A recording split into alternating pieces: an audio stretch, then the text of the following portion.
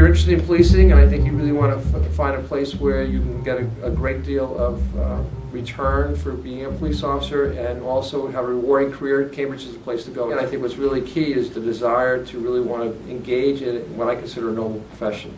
The Cambridge Police Department is unique. Many of us um, are from the community. We grew up here. We lived here. We have. We still have roots here. We still have family here. Uh, so many of us are still very invested in this city. I didn't have any idea that I was going to be a police officer when I started out. So I've been here for 30 years. My first assignment was in patrol. Then I went into the school, Cambridge Rindge and Latin, which was my graduating year in 1972.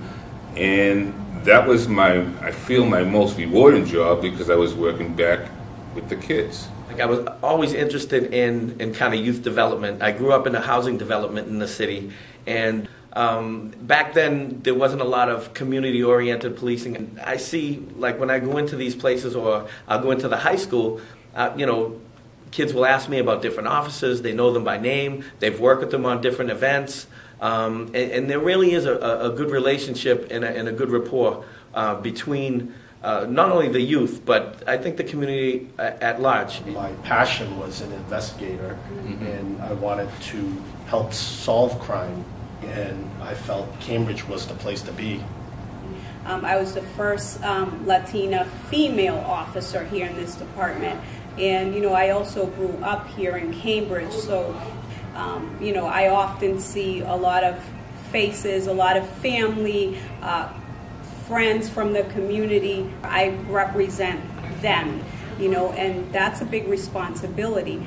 Así que yo le, invito a toda la gente, a la comunidad latina, que todo es posible, aquí estoy yo para representarlo y quisiera que más eh, jóvenes en la comunidad pudieran venir acá conmigo y acompañarme. Es una buena carrera y eh, les deseo mucha suerte en el futuro.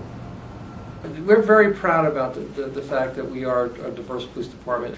We're very welcoming uh, and we're really encouraging uh, people who've never really thought about policing as really being a career path that you may find extremely rewarding, that you actually are giving something to the community and you get some sense of satisfaction you've given something, you're part of that, that, that larger fabric.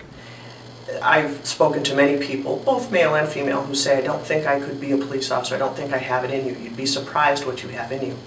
And if you have even the slightest inkling of interest in law enforcement, you need to nurture that. You need to pursue this. Well, the one thing they didn't mention is we all hit the lottery. It's the best job in the world. It is. I mean, it is. great really, pay. Yeah. You can't beat it for some. I mean, the pay is great. There's you got good people you're working with. Mobility in the police department, and you get to meet and help people and go to sleep good at night. Definitely.